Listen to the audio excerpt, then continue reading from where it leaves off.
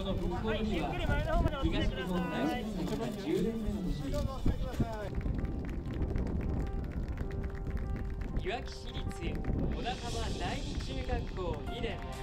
皆川新タモニーに先立ちまして東日本大震災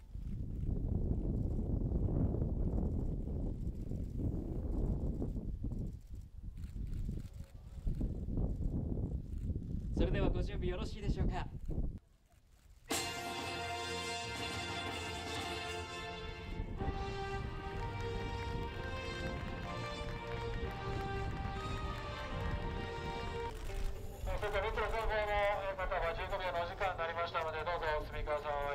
まあ、あの私も実は東京都の聖火ランナーで、まあ、走るのが1年後になってしまったっていう残念な気持ちはあるんですけれどもむしろポジティブに捉えてましてもともと復興五輪っていう、まあ、位置づけの中で今度はまああの世界復興五輪にもなるし、まあ、日本だけじゃなくて世界中を応援に応援して、まあ、世界全体が真にまとまるということができるオリンピックになるチャンスなのではないかなというふうに思っています。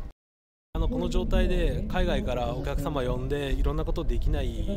かなっていうのがまあ正直な率直な意見なので、まあ、延期になってよかったなっていう、まあ、それに伴って僕の方もちょっと飲食をやってるのであのまあそこで1年間、まあ、延期って言ってもまあいつになるかまだ分かってないんですけども、まあ、そこに向けてまた頑張ろうかなっていうふうに思ってますとりあえずコロナの方が、えーとりあえず終わってくれるのを待ってるっていう状態というか落ち着くのを待つっていうのを